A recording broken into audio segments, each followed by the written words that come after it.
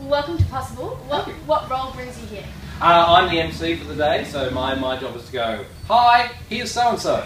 Very difficult, very Very difficult task. And how do you manage all your MC roles as well as uh, your ABC announcing roles? Oh, look, it's, it's like, um, it's, I, I have a busy life, but it's the same as, um, I have the same attitude to my ABC life as I do to my family. I ignore them. Um, so it allows me to get a lot more in, and um, it's good.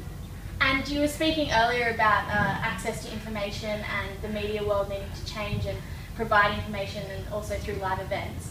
How do you see that coming through and particularly today with ideas and possible?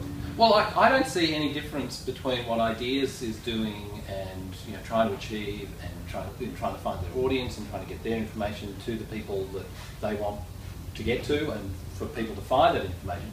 There is no in that difference in that relationship between what the ABC is trying to do, what the Sydney Morning Herald is trying to do, who what Rupert is trying to do. No one's got a clue.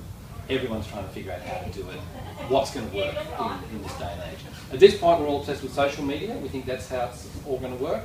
That could turn out to be completely wrong in another five minutes as well. But everybody's engaged in trying to find exactly their audience and deliver exactly what it is they want. Whereas everything, if you go back 20 years or so, everything was about this broad sort of, well, here's our thing, let's hope they find it. It's narrowing down.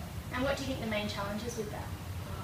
The, well, the main challenges is, uh, as everyone is scratching their head going, oh, how's this work? What's good Facebook? Um, and the main challenge is that everyone trying to change their thinking from being broadcasters. Like people like me have grown up as broadcasters. We put a program on a specific platform at a specific time. We assume you'll find it. Uh, we hope that enough people find it. Well, that's all changing. I mean, my competitor now in ABC Radio is not 2GB, it's BBC 4. It's, it's This American Life. It's all sorts of other programs. It's, it's blogs and, and, and, you know, podcasts I don't even know about that people would rather listen to than me. So Oh, makes it. Oh, it's impossible. It's very annoying. And uh, when you are an announcer and receiving a number of talkback calls, I imagine you receive a lot of ideas from your listeners. Mm. How are you able to take those on board?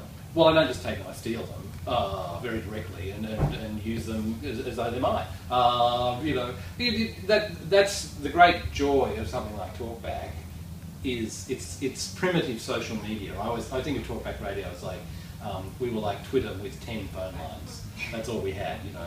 And so it's like this, you, it's the same thing. Here's an idea, that's great.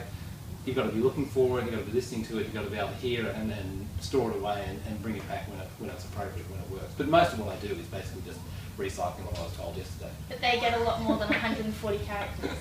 They get a lot more than 140 characters, but you know you don't you don't need much more than that. You know that, that sort of stuff is, um, you know, good pith, pith is good. You know, get it get it short, get it sharp. That's great.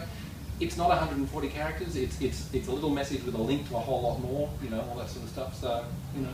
And what are you expecting from entering um, this disability world here over the next two days here at Possible? Well, I, I'm expecting it. I'm expecting like most of these things. It's not my world, but I walk into it and I'll be amazed. You know, it'll be it'll be stimulating and inspiring, and what I'll get are stories um, and connections with all sorts of people that I wouldn't normally come across in my everyday life or in my the kind of media that I usually do. So that, that's why I, that's why I say yes eagerly because it takes me out into a world that I, I'm not normally to inhabit. Perfect. Thank you very much. No worries.